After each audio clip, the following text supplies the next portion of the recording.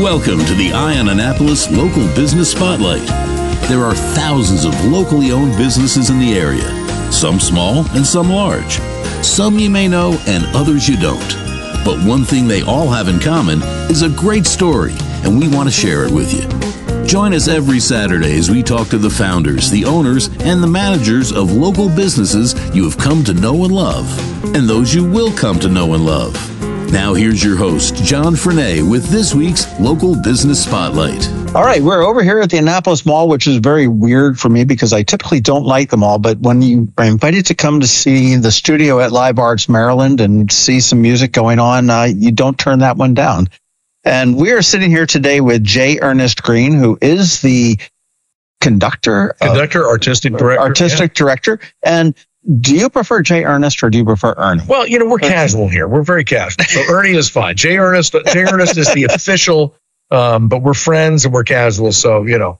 Well, as you know, Ernie is fine. We have crossed paths for probably 15 years. Absolutely. And, um, we have not really had time to really sit down and talk and develop a friendship and stuff like that, which I really I'm, I'm kind of sad about. I'm hoping that this is the beginning of, but you know, you and I were actually talking just before uh, COVID hit. Yep. We were talking, I remember talking to you in January of, of 2020, and I was trying to figure out a couple things about some marketing thing, and that you published something, and I remember thinking, ooh, I got to reach out to him. And then COVID hit. Yeah, then the world ended. Exactly. Exactly. As we know it, it ended. Exactly. Well, I mean, you are most known in the area as the conductor of Live Arts Maryland, which is a series of different organizations within the organization. Right. right. And as I look at your biography, I mean, you're a lot more. I mean, you've won a Lifetime Achievement Award from the uh, Anne Arundel County Arts. I think they thought I was older than I actually am.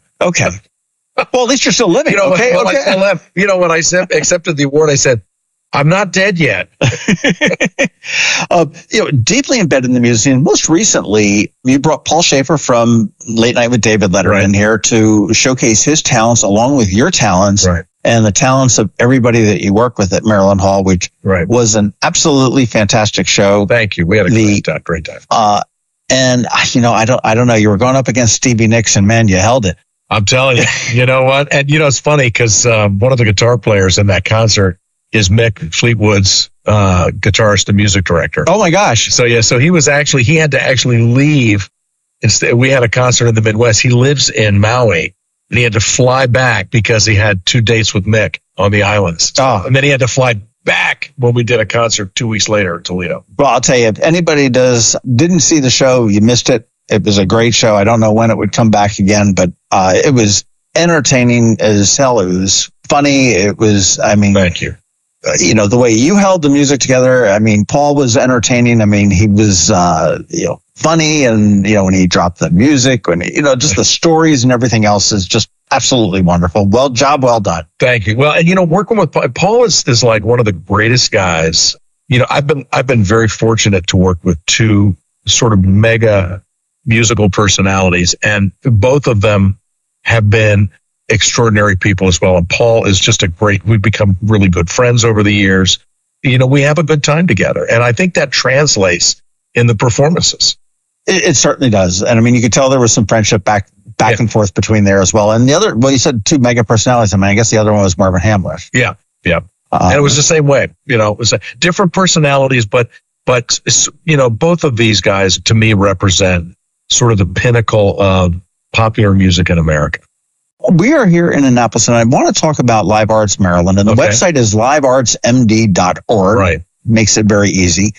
And the mall, I've got to say, is an odd place for oh, this. Yeah. But I just read this morning in the Wall Street Journal about the nation's oldest mall outside of Minneapolis that is being repurposed. It's not the Mall of America. It's another okay, one right. that is being repurposed. And it said it has the gym, it has performance venues, right. it has right. everything else. And right. the Annapolis Mall is repurposing. I mean, we've got, yeah. we've got the SPCA here. We've got the library. We've got a gym. We've got a kids resort that's getting ready to open up. And we've got Live Arts Maryland, which is a performance venue right here in the mall. And for those that are wondering where it is, it's on the back side of the mall. You sort of go in the mall entrance to the left of the container store and then just go left and it's right, right there. You know, and, and, when we uh, when we started this, uh, we actually were in where the store where Offenbachers is. You know, Live Arts Maryland is, uh, when you talk about this sort of website with the web address, we changed our name and we rebranded. The group was originally the Annapolis Chorale, but we started doing more things with the orchestra and we have a chamber chorus and we did a concert series and it got very confusing to our audience. So the idea is that live arts is sort of an umbrella under which we have the Annapolis Chorale, which is the big chorus. Before the pandemic, it was about 175. Now it's about 120 something. The chamber chorus of the chorale, uh, a women's chorus called Cantori, the Bach Plus series, where we, we most of our performances are at St. Anne's. And believe it or not, you know, I always make a joke when I do the pre-concert welcome here at the studio. You, you don't think you're going to go see a concert in the mall you know, you go to the mall, you think you're going to the container store, you're going to go to buy, you know, t-shirts, you know, shoes or something like that. And a pretzel and Anna yeah, pretzel, pretzel. I almost bought one yesterday. But um, you don't think about going to a concert. And when I approached a friend of mine who was one of the vice presidents for leasing for Unibail, the company that owns the uh, Westfield or owned Westfield, I said, I've got this idea. I've been chewing on it for years. And now that we're in the middle of the pandemic, I, I want to bring it to you about using one of the empty spaces and putting on concerts. And I really thought I was going to get the blow off, the big blow off. And instead, the mall embraced it immediately. They've been very supportive. They helped us get this space cleared out. This place was just a hot mess when we took possession of it. And it's, it's really been, it's been a learning process for us. I'm sure for them. But, you know, this last week we had two performances with really good houses. And one of them was a jazz performance with a singer and a trio. The other was chamber music where we had two singers, a dancer, and a pianist playing Schubert and Maury music and woven together in a tapestry. To That's wild. It's, That's it's crazy. I, two nights in a row. I mean, I mean, as I look around this room, and I mean, it's it's a great room. It's a large room. There's plenty of room. Uh, you know, God forbid COVID strikes again. You you've got plenty of room to spread out. Oh yeah, um, yeah certainly the capacity is probably several hundred, but I mean, you know, I'd probably say a hundred easily. Yeah, we have an occupancy capacity of 299. We sort of try to max out performances in the 150 range ish, just because it's more comfortable. And some of the sight lines, you know, get a little, little wonky. Well, I, I, will say that. I mean, this is very similar to like colonial players and that there is no bad seat in the house as I live around right, here. Right. I mean, you're up close, you're up close personal. I mean, it's yeah. not a Maryland Hall performance that yeah. is, you know, 30 rows away. Right, right. Well, and, and Maryland Hall, you know, one of the reasons that we did this was I did not want sort of a black box theater. I wanted something where we could be flexible. So for instance, the, uh, the listeners can't see this, but we changed the performing area as needed. So, for instance, we will periodically do things in the round, like cloning.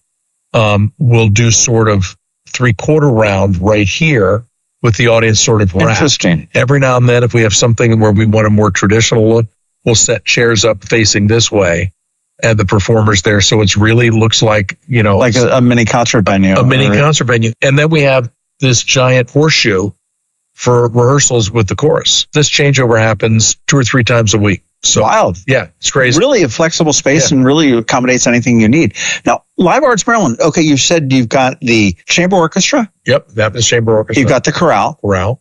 And what is the difference between that? Just size? The chamber orchestra is probably, we typically run in the 30 to 35 to 40. And, and I make a point of doing, for the most part, different repertoire than you would see with the uh, symphony, for instance. Because my, my feeling is there is plenty of music out there for us to, con- you know, we can focus on the chamber orchestra repertoire.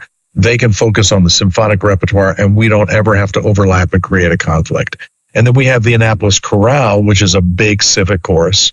Pre-COVID was about 175. Now it's in the 120s ish okay. range. And then we have a chamber chorus of about 35 to 40. And again, that just is a size difference, right? Right. Just a size difference. And with the size difference also comes different choices about which repertoire you perform. Okay. So smaller chorus generally is going to be a repertoire that is, I tend to focus it more towards repertoire that requires smaller performing forces in the orchestra. So I wouldn't, for instance, have the 30 members of the chamber chorus or 40 members do, for instance, a Verdi Requiem where the orchestra is 45 or 50, where we've expanded the chamber orchestra and added extra players. So you want to you want to use those groups uh, and and find their sweet spot, uh, okay. which is always elusive and always changing. For sure. What what is the difference between a symphony? Okay, we've got the Annapolis Symphony Orchestra right. in, in town. I mean, Annapolis is just a wonderful arts town. Right, they've it got really is. so much. I mean, the depth of it. Go explore it, and absolutely. you'll be absolutely amazed. Absolutely. What is the difference between its size? I mean, mostly size. Does a symphony size. say you have to have X number of? No, but it's you know there's there's sort of this. It, it has the orchestra evolved from its beginnings to where where we are now. The modern term symphony orchestra, the Philharmonic, you know, all these names. They're just different ways of naming the same thing. And a symphony orchestra is usually larger, and for the most part, not not entirely, but for the most part, concentrates on big what we call symphonic repertoire. This is big repertoire, typically from the Romantic era, somewhere around maybe the 1820s, 1830s, and beyond, where the, the requirements to play that repertoire became more extensive. You know, if you're playing Rachmaninoff, you might need three clarinets instead of two, and two bassoons and a contrabassoon instead of two bassoons. Okay. When we do Bach, for instance, we'll do, we have uh, this performance on March 29th. When we do that, I'll do that with two flutes, two oboes, strings, a bassoon, uh, and a gamba player. What's it called? Uh, it's a predecessor to the cello. Okay. so it's, yeah, and that's it. So it's much smaller, and I'm doing it with 17 players, 17 okay. players or 18 players, as opposed to the 40 players we're going to use for the chorale concert at the end of the year, or 45 players. So okay. we, we, I sort of tell people you have to think of it like an accordion.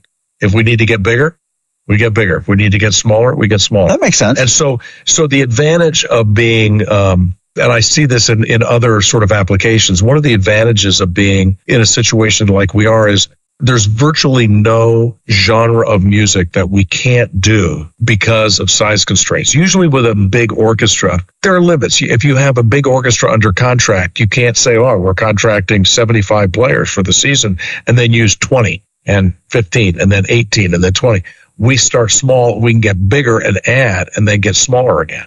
So we can do the same with the chorus. You know, if I want to do a Mozart Requiem, I can say, okay, am I going to do this with the full chorus of 100 or am I going to do it with the chamber chorus of 30? And so I can use those different ensembles to make artistic choices.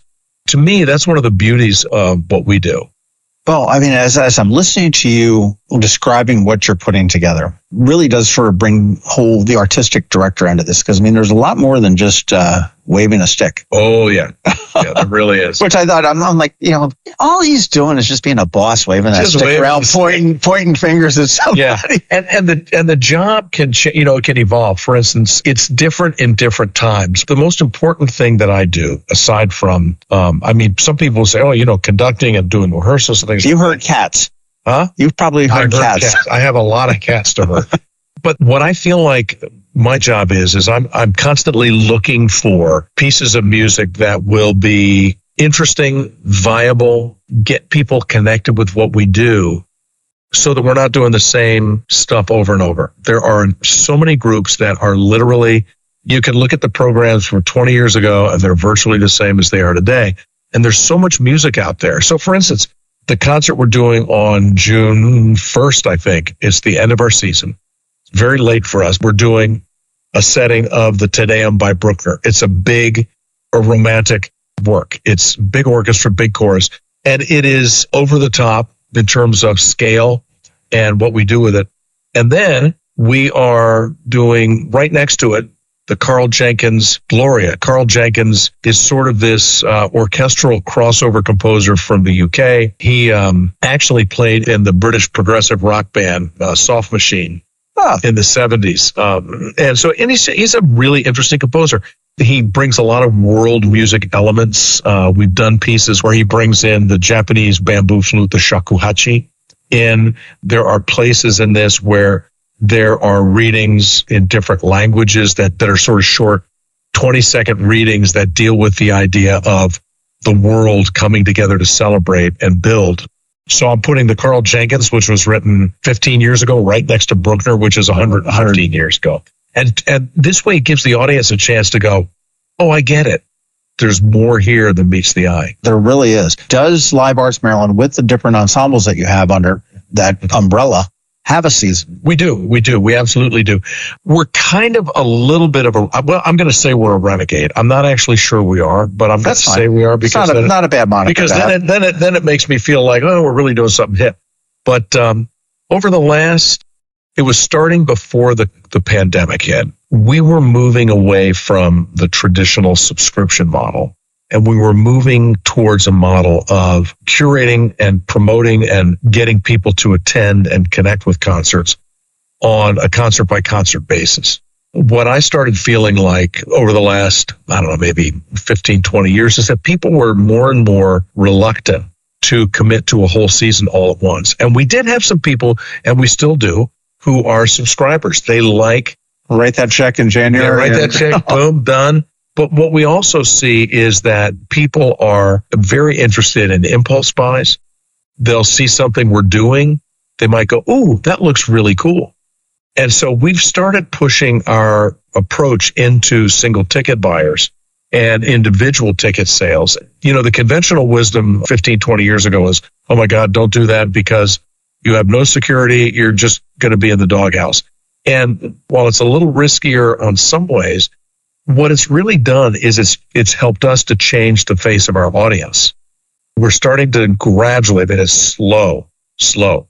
But we're starting to see an audience that's a little younger and more focused on the music we're playing than. Well, I sit there and I think about it. You're absolutely right. I mean, if you turn around and you say, okay, we're doing, um, you know, a classical composer right. who's, that's going to be, you know, I'll, I'll, stereotype, but an older audience that's right. going to come there. It's right. going to be the 50 up crowd. Right. Right. Uh, you bring in Paul Shaffer here. That's now brought you down probably to the 30s. Right. I mean, you might right. get to a 20 year old. They're going, right. who? Yeah. right. Well, and, and that's, and the other thing it does, I mentioned earlier, I talked about the idea that, that we have these ensembles that work sort of independently. So I can say, okay, I want to do this piece. Which chorus do I want to do it with? How will that chorus do justice to the music in a way that the audience is going I want the audience to walk out. And this is going to sound almost like blasphemy. I don't really care if the audience has learned something, doesn't learn something, makes no difference to me. What I really care about is that they had a good experience and that they, they get to the end of the concert. They go, okay, that was really cool we're living in a world now, and I think we're seeing a, a, a global transition. Mm-hmm. And, and I, I, will credit COVID for this. I find that a lot of people are much more focused on experiences, experience, absolutely, than stuff. I can walk down to Macy's here in the store and and buy the latest polo shirt or or, right. or you know Gucci shoes. Right. I don't know whether they sell them or whatever. You know, but that's not important to me right. anymore.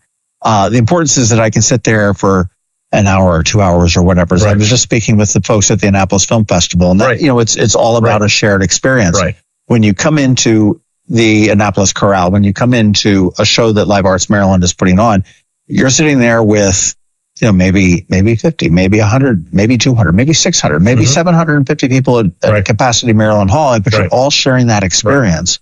I take that so seriously. And I, you know, I, I sort of joke, you know, now you get to be in your 60s and you start thinking about things differently. And I think, like all young musicians, I was a little maybe glib or cavalier about the audience and you know the, the fact that we need the audience to survive. And, and everybody does that. You know every musician at certain times in their lives is a little dismissive.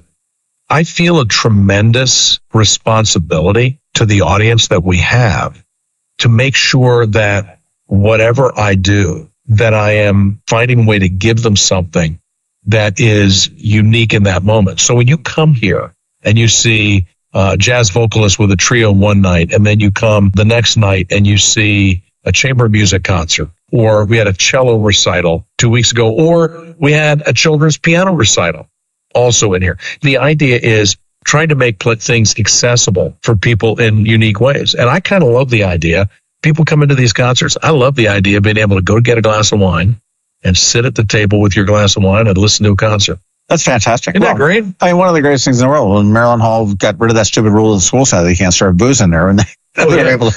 Are you able to serve alcohol in here? Yeah, yeah. We get a we have a liquor license. We get a liquor license every single concert. So, uh, except for concerts where we've only had one of those actually. Okay, so it's as a nonprofit, you get it for the the event. Yeah, we get it for the event. We we actually. So I can't come in here and drink tonight.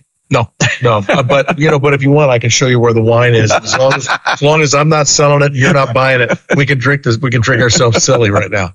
Um, we also, for some concerts, sometimes we have uh, snacks available, and it varies.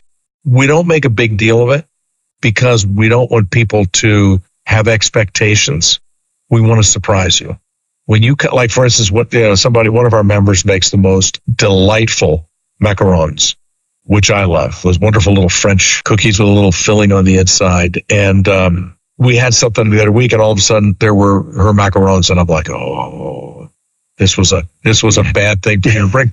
but so there's a little bit of whimsy, and to me that to, to me that idea of doing things in a way that is like classical music. We can call what we do anything we. The term today, the term of art is classical music. It doesn't matter that the classical era in music was only about 60 years long, and it was a narrow band uh, around the time Mozart and Haydn and early Beethoven were around. We use the term classical music to refer to everything that has an orchestra or is not pop Sure. But well, terms always change too. Yeah, they're, they're, exactly. they're calling you two oldies. Exactly.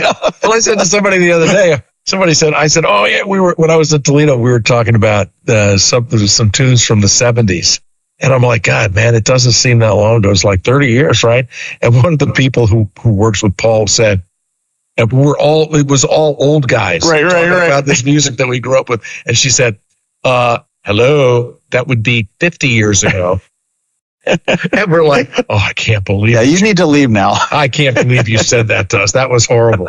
But I think the classical music world has, has become sort of stratified or, or sort of you know, petrified, if you will. And, you know, we, we try to create whimsy by doing little sort of little things that they're just sort of lip service. So what we want to do here is, and actually the plans for next year for this space in terms of what we're going to program, I'm already working on that. And we're going to look at transforming this space for different types of performances. In the spring, for instance, I'm putting the entire chorale, all 125 of them in here. We're going to do a chamber concert with the piano and we're going to do music that was you won't get to hear anywhere else because it's not stuff that'll fit at St. Anne's. It's not necessarily stuff that'll fit at Maryland Hall. But boy, in a place like this, could uh-huh. we tear it up? Can do well. How do you do as far as traffic goes? I mean, I got to think with. Well, you know, it's, it's very interesting. I was started to say this to you. One of my great joys about this place is that last night, and again, it happens like happened last night. We have people when we're rehearsing that hear us hear the music and they go peek through the door and they don't just stick their head in, open the door and leave. They come in. I had a guy come in last night, stand right there, right where that, that table That's with awesome. the mixing board is. And actually, we had two other people come in. We were uh, doing some recording with the women last night at the end of rehearsal and came. It was just, it's just like looking and people come. Sometimes we get kids that come in and you know i i used to love it when you you'd get kids that would come in and little girls would come in and twirl while we were singing. You know and and when we first started doing this um i had people say well should we lock the door? And i'm like no no. Are you kidding? Don't lock the door. Let them in because to me you know I, I i just love it. I just love it. We had somebody that came in one time was walking by the mall heard us. We were doing an open mic night here and they heard us and they were like oh, I, I just heard this beautiful music and I wanted to see what it was. And they were standing over there. I said, well, you know, do you, do you sing? Do you want to sing? I said, oh, I haven't sung in, in like 15 years. I said, well, do you know a piece of music? We can see if the pianist can play for you. And they sang. It was the first time in 15 years that they'd sung. Beautiful voice. You know, that one person went out of here in my, to my mind. I like to think that that person went out and they went out changed. They didn't go out of the room the same way they came in. Ernie Green and Live Arts Maryland just totally brought something, an experience that he hadn't had in 15 years to him. Yeah, yeah, exactly. And and I'm thinking this is what it should be about. You know, the music world is so often about buy a ticket, come in the door, sit down, shut up, we're all done, go home. What if we changed that? What if we made it interactive? And one of the things I love about this, um, we, we did a Christmas cabaret after the holiday concert. And we had Mark Berman, who is a pianist for Mrs. Maisel, and You know, Mark's a pretty pretty big mover and shaker of the New York jazz scene. He's a good friend of mine.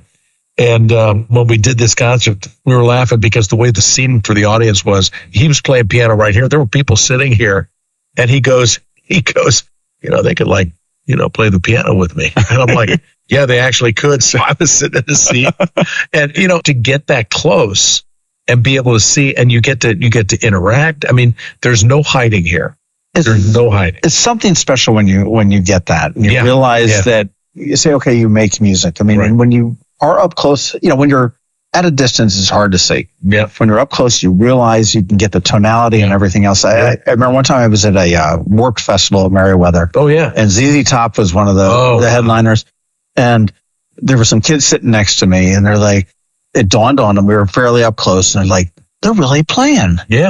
And I'm like, yeah, what do you think? They come out with They're- these pink fuzzy things and just like sort track? of air guitar? Yeah. No, Billy Gibbons is not And- playing on it. You know, and it, again, that opened up the world to it. I mean, what Yeah. you do, I mean, you looked at that work chord, had all sort, you know, had ZZ Top, Yeah. had the screamer guys. Oh yeah. Um, you know, I don't like it, but I mean, I get it. But you know what? You have to you have to be willing, I think.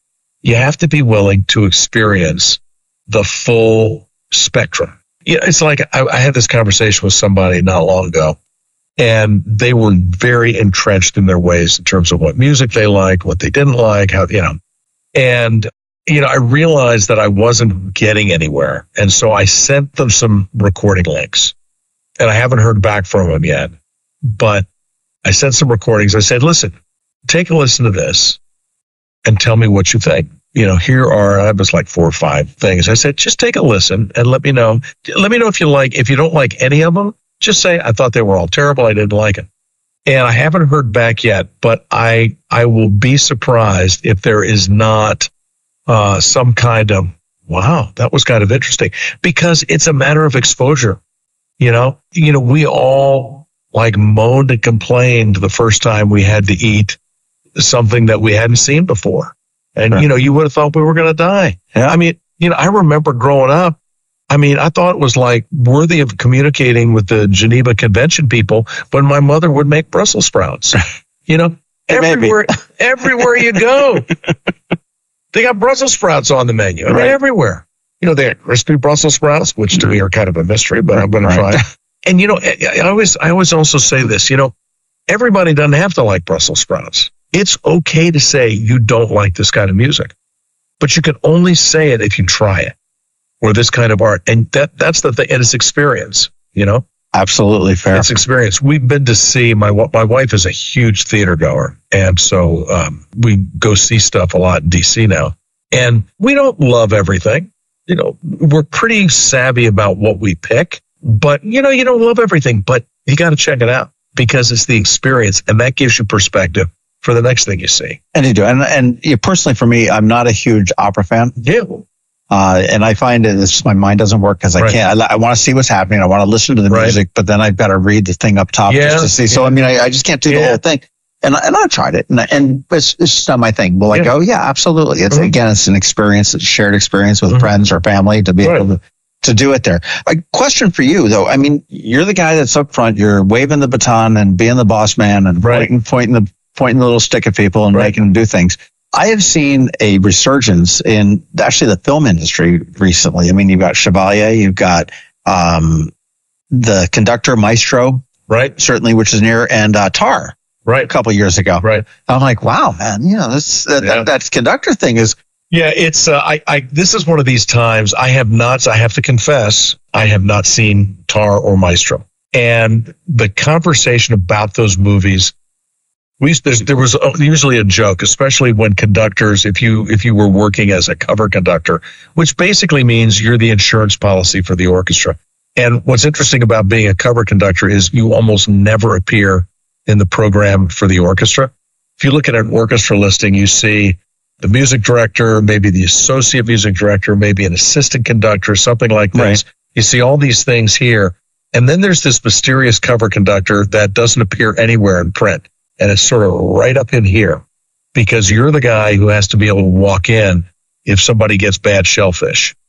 And okay. you need to be able to do it on a moment's notice. But the, the joke is always, you know, you know, if you see two conductors in the same room at the same time, one of them is dead or about to be, you know, but, um, but in, in all seriousness, I have a couple friends and colleagues who I've, I've sort of, we started off as conducting fellows at Peabody in the 80s. And studying conducting back then is, to, in my mind at least, is very different than it is today in terms of what is emphasized, what's, you know, what the focus of your work is. So I have colleagues and we sort of talk and we're all a little bit guarded about seeing Maestro or, you know, Maestro, it seems to me from what I've heard, I, and I probably will watch that because that one is sort of interesting, but it really focuses more on the salacious natures of Bernstein being, you know, bisexual and, you know, you know, you see him working with a student, uh, in one scene and they're in bed the next, I don't, you right. know, and, you know, honestly, that to me is fine, but it doesn't have to be a conductor to have that same story. I mean, you sure. can have that same story about sure. anybody. And so there is a mystique about being a conductor. And what I always tell people is the mystique only really happens if you do the work to get you there. Because the work uh, this morning I got up, I was, I was working on getting ready to do ragtime with Toledo Opera. Last year I did their Merry Widow. I've got a South Pacific with them next season. And so I got up and I'm working on ragtime. And in between that ragtime, a ragtime and uh, another meeting, I, I put that away. I went to this other meeting. I came back and I was working on the, the, the music for the Bach St. John. So in order for the mystique to really be there, you got to put the work in. And it's just a lot of work. You spend a lot of time by yourself at your desk working on music, trying to figure it out. You said you went to Berklee. Um, no, Peabody. Or Peabody, sorry. Yeah. I know it's probably I probably just insulted. Berklee's a great school. I love Berklee. Every now. Um, but you went you went for conducting. Yeah. So I, that's that's a discipline. Yeah. Yeah. Do you play instruments yourself? I did. I was a trombonist. Okay. And I did my undergraduate in trombone performance. And I played double bass. I was not a great double bass player. I was really, I was okay as a double bass player. But while I was working on my bachelor's, I was a trombone performance major. I played double bass. I played a lot of electric bass with bands in those days, which was frowned upon by some, not all, but some of my professors. Um, they thought that was sort of not serious enough. Damn rock and roll. Uh, damn rock and roll. I, I couldn't get enough. I couldn't get enough rock and roll and R and B. I mean, I was, and I was living in, I was in Toledo, which is right down the road from Detroit. So I was like, I can't get enough of this stuff. um, so I did that. I did all that stuff. I studied a little bit of composition. And then I went to Peabody as a conductor because I started to feel like I had this, this, this moment where I, I was sort of really moving forward very aggressively as a trombonist, but I was getting really frustrated because I felt like I didn't have control of the artistic product. You know, when you're sitting in the back of the orchestra playing, you're not necessarily, you know, in the driver's seat. And I, I spent a lot of my time as a very young kid doing theater. So I really understood or had this, this innate understanding of that sort of push and pull between directing and book. And I kept conducting little, little things on campus. And one of my professors said, you know, you really have, have a knack for this. You should look at doing more of this. So I thought, really? So I did. I went to one studying with, uh, a conductor, uh, the conductor of the, the symphony in town who was then, um, one of the conductors at the, uh, Edmonton Symphony and also the Royal Ballet at Covent Garden. And I started studying with him. And then I took the auditions for Peabody. And I went there in 1981 as a conducting fellow. In those days, there were only, in my group, there were four of us that were admitted out of, I don't know how many hundreds right. wide. I was convinced there was no way in God's green earth I was going to get in. I was, when I got the letter, I actually got it. I'm like, yeah, I'll read it. Whatever. And I said, I let it sit on my counter. I didn't read it because I'm like, yeah, okay, I'm good. I'll take. I'll, thank you for applying, but thank you, thank you. We wish you the. I love that. We wish you the best of luck in your future endeavors. And, you know, my roommate said, well, what was the answer? I said, I don't know. I haven't read it yet. He said, well, are you going to read it? I'm like, I, I didn't get it. And he read the letter and I'm like, wow, I got it. How about that? so, um, and that's kind of where that part of the journey started. But again, to me, it's very different today than it was then. You know, everybody always says that. So sure. that's, that's kind of, it's such a cliche, but it was much less friendly in terms of the students. I mean, it was really very hardcore And it was also very rigorous in terms of the performance standards and the classroom standards, not so much. Their goal was to, to, to put you in there, get you ready to go and shoot you out the cannon as a performer who was going to get a, get a job.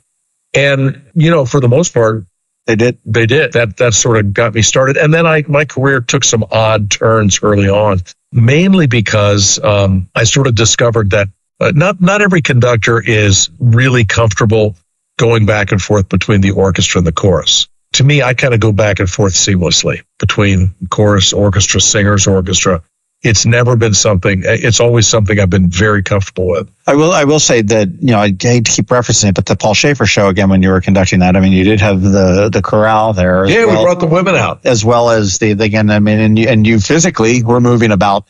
Yeah, the stage to do yeah. it and, and and handle both of them. Yeah, and everything else. Yeah. And that defined, you know, the early part of my career, and it, it sort of changed the way I did some things, which is which has turned out to be good. That's fantastic. You had mentioned earlier, and I, I can't remember what the term was, but did you uh, call it a civic ensemble?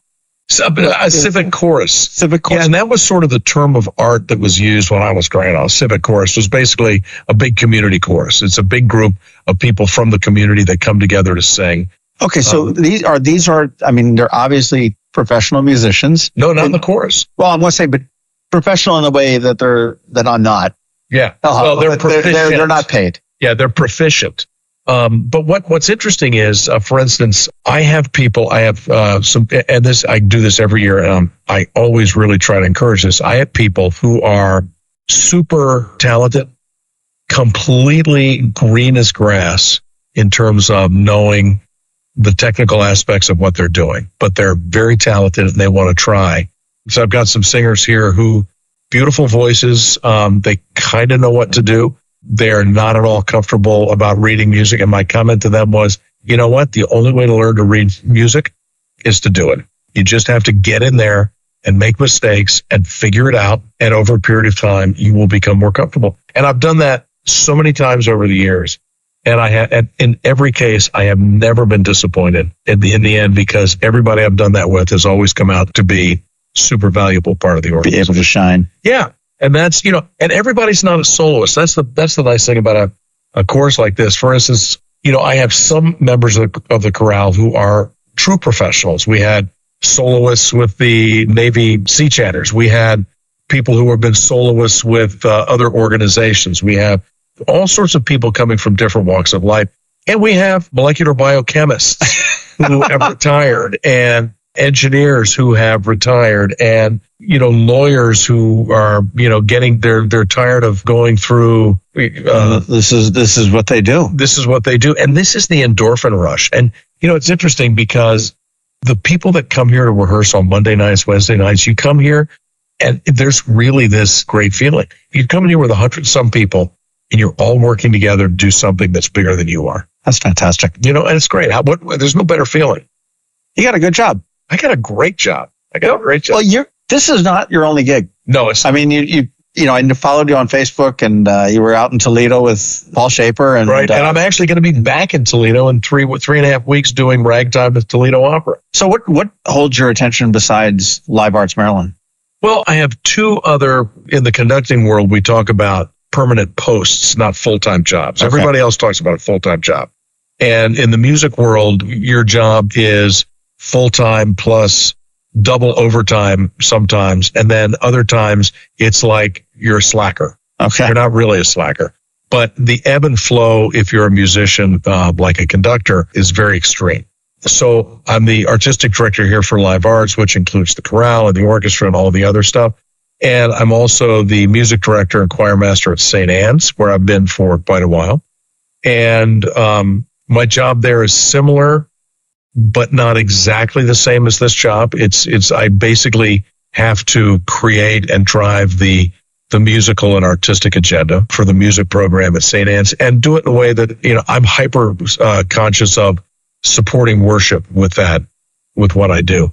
And then um, I'm also on the faculty at Washington College. I started teaching there, I guess in 2019. No, it was, or no, it was 2017, 15, 2015. I don't know and I started teaching there, and my teaching role has expanded.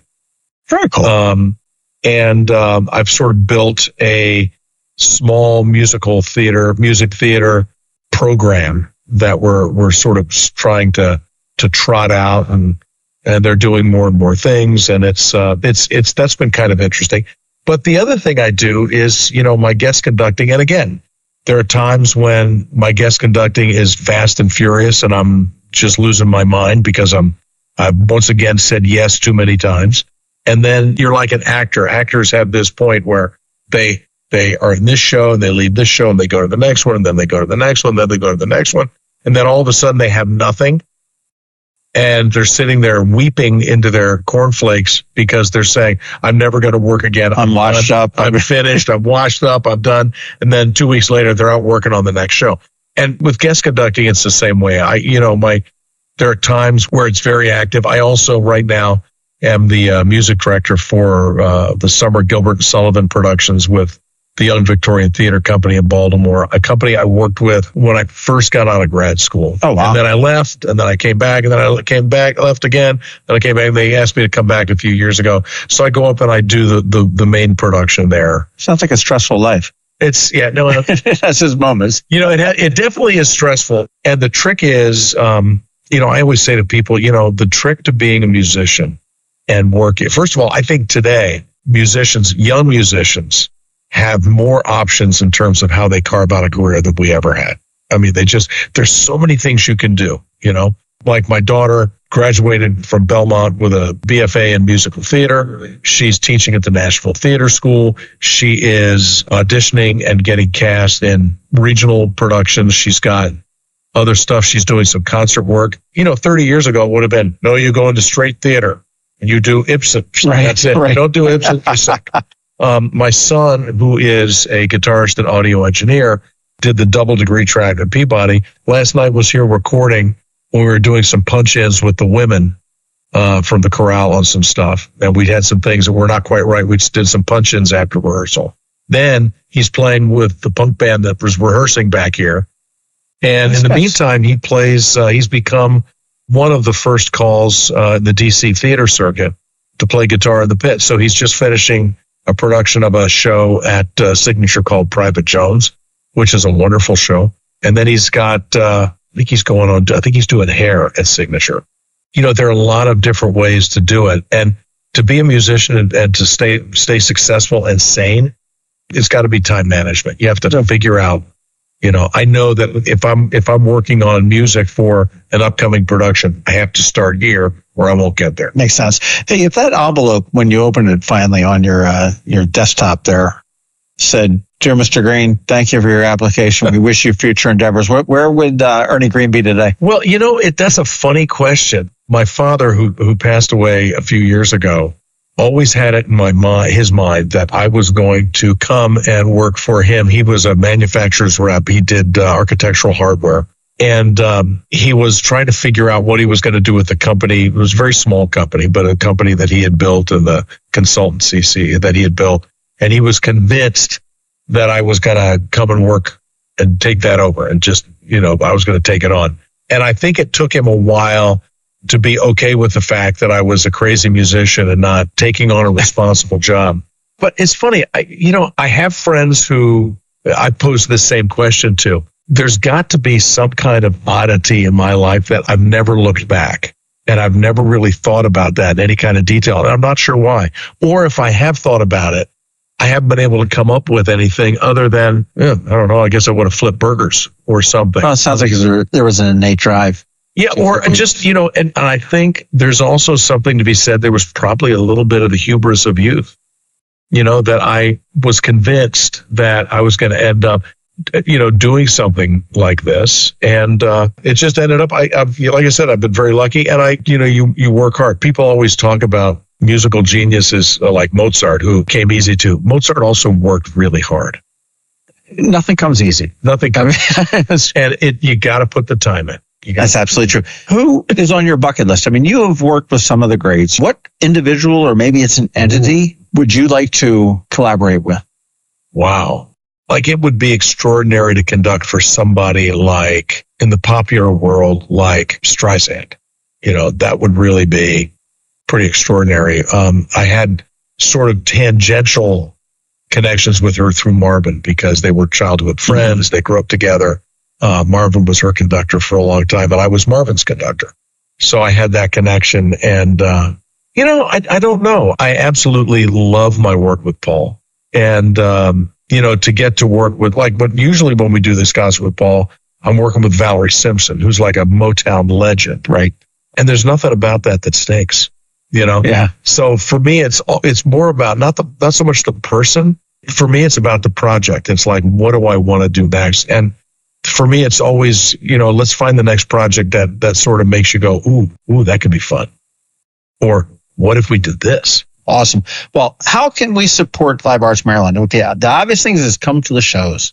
Come to the shows. I always tell people, you know, and, and actually, I sort of joke about it. I should get like a cut from the symphony, the ballet, and the opera in addition to live arts because I always tell people whenever I speak at a public event, I always say, go see some live music, go see the chorale, the ballet, the opera, the symphony. And I always plug everybody equally because I really feel like um, that idea of the rising tide lifts all ships. And it does. It really and truly does. So if you go to a concert, if you go to a performance and you like it, realize that when you go to a concert, chances are your ticket is only paying for 50% of what you just saw in what we call the art music world, the non Rams Head, non right non pop music world. When we're you're in the art music world for reasons that still escape me after how many decades doing this, our ticket prices are scaled so that ticket prices basically make up 50% or less of what it costs to build the product. So if you like something, give a little extra money. If you bought a $50 ticket, you know what? Give $50 more. You know, at the end of the year, you know, at the end of the year, just, just $50. That's what, 10 Starbucks? Maybe. Yeah, when you when you boil it down, yeah. it's it's not much for the experience yeah. that you got. And and you know, think about the fact that by doing that, you could make a mark on the on the, the community and uh, the organization really easy. It's not hard. Well, you can. Arts does keep the community alive. Oh, absolutely. Um, you, you, know, and whether you're standing there looking at a painting and scratching your chin, or yeah. listening to something, yeah. or making something with your hands, yeah art is just so integral to what we have. And certainly I think Absolutely. during COVID that we probably learned a little bit of that. Yeah. Uh, we, everybody took up a new hobby and, right. You know, and, well, and the arts during COVID, you know, I, I, I say this at my own peril, but I had this conversation the other day and I said to somebody, you know, I kind of miss the quiet of the pandemic because when it was quiet and we were having to figure out, like, how do you get a bunch of singers not to be a super spreader event. right. That's they're all like sailing. You know, and I mean, singing is like a big super spreader event. And so how do you get singers to do that safely? And what I miss is the quiet that was sort of inherent in the isolation because what that meant is that when you actually had a performance, it was a bigger deal. I can see that. I think we got very casual and we took a lot of stuff for granted. We took a lot of stuff for, you know, oh, we're going to see the, the, the chorale, the opera, the symphony, the ballet. I think we took that stuff for granted. I think we took live performance for granted in a way that we hadn't before. And I think with the quiet, all of a sudden you have a performance and it's, it's special. It's important. Well, we need to make it special and important every day. Again, again. Every day liveartsmd.org is where you want to go. You can check out the remaining bit of the season. Yeah, it ends in June. Cool stuff. Yeah. Uh, it'll kick up again, I guess, in the fall. September. We start off. Uh, we're actually maybe doing something in August. That's that's still TBD, but we're getting ready to launch the next season. But keep your eye out because they're doing so much fun things. And if you're at the mall, stop by. Yeah, and if you hear us singing, and just come on in. Come on in, and if you have a good voice, Come stand on in line with everybody else. And sing. yeah, sing yeah. We, you know, it's it's. Yeah, I love it when people come in and just hang out and listen to us rehearse. Fantastic. Well, you've got plenty of opportunities to do it. I want to thank you, Ernie Green, so much for thank your time. You, thank and you so thank much. you for what you've done to the community and for the arts community for all these decades. And uh, hopefully uh, keep on doing it. You got it. Thank you. Thanks for listening to this week's Local Business Spotlight please make sure to visit eyeonannapolis.net for all your local news, events, and opinion. And in case you haven't already, please subscribe to the Eye on Annapolis Daily News Brief, where we bring you all the day's local news direct to your phone, tablet, or computer in about 10 minutes. It comes to you at 6 a.m. every Monday through Friday, and you can subscribe on Apple Podcasts, Google Podcasts, or wherever you get your podcasts.